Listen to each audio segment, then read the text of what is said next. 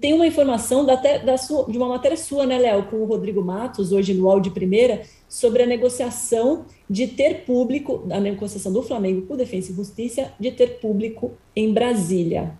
Isso. É, está em curso isso, é, da parte de governo do Distrito Federal, que também é super alinhado ao Flamengo, já tem ok. A Comebol, então, só está faltando estender um tapete vermelho lá para a torcida no Mané Garrincha. Então, falta só, na realidade, o Flamengo se acertar com defesa e justiça.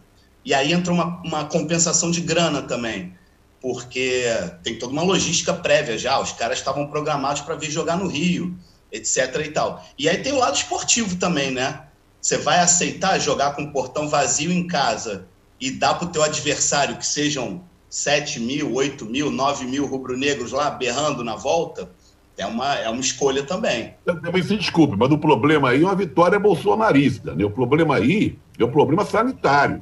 Não é nem a grana, não é nada. O Flamengo, que é alinhado ao presidente, ao capitão Corona, o Landim, e o novo técnico Renato também, é um puxa-saco do, do Capitão Corona, do Mito, gravou um vídeo aí desejando estamos juntos, estamos morando, não sei o quê. É uma irresponsabilidade sanitária levar o jogo para Brasília com o público.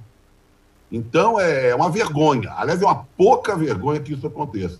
Mas esperar uma, uma medida é, sensata dessa diretoria do Flamengo é difícil.